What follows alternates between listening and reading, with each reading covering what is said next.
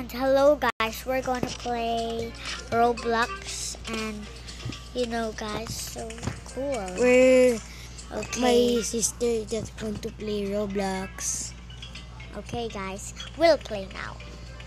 Okay. Stop.